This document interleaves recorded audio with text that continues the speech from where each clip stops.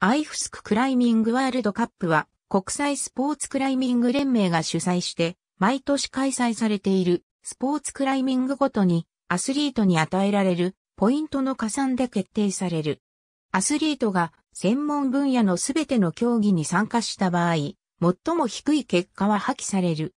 シーズンの終わりに各分野で最高ランクのアスリートがワールドカップシリーズの総合優勝者とみなされ、トロフィーが授与され、2位と3位の選手にはプレートが授与される。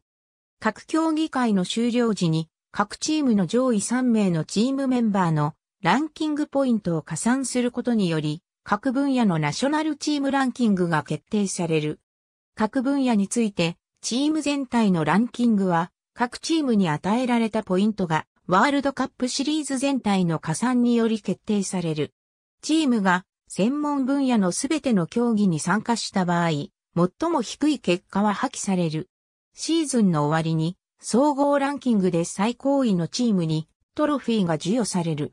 シーズンごとに各アスリートがイベント間及び分野で得た結果を考慮して総合ランキングが決定されます。シーズンの終わりにトップ3の選手に賞が授与される。コンバインドは最初のスピードイベントとともに1998年に初めて導入され、ボルダリングは翌年に導入された。1998年から2017年まで各アスリートの合計スコアは少なくとも2つの異なる分野でそのアスリートが獲得したワールドカップの総合スコアの合計で決定されていた。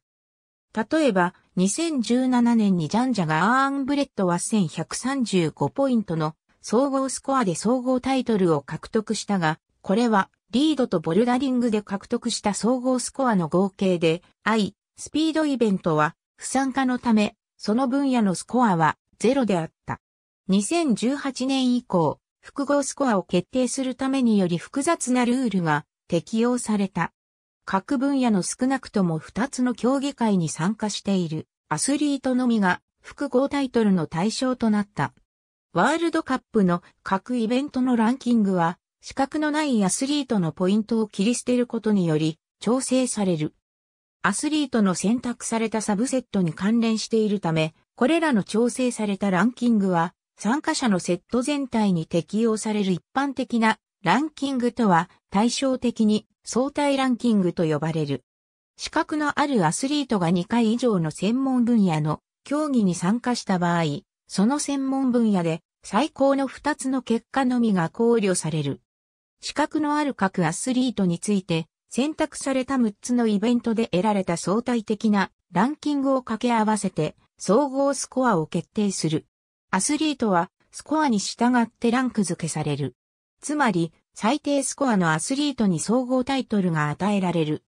例えば、2018年にヤコブ・シューベルトは、表に示すように決定された48点のスコアで、コンバインドワールドカップタイトルを獲得した。2019年、参加者がすべての分野で競う必要のあるワールドカップシリーズに個別の複合イベントが導入され、その結果に基づいてメダルが授与される。